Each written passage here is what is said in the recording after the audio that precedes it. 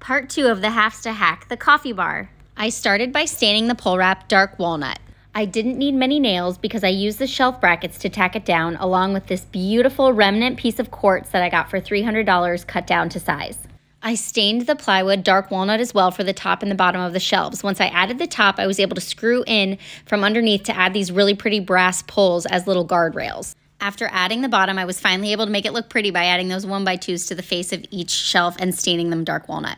This last step was a little questionable because I drilled in through my nicely finished cabinets to get a metal rod all the way through underneath the shelf to hang mugs from. I rub and buffed the rod gold to match and then got to decorate. Next, I'll go into how I painted the cabinet doors and organized the inside.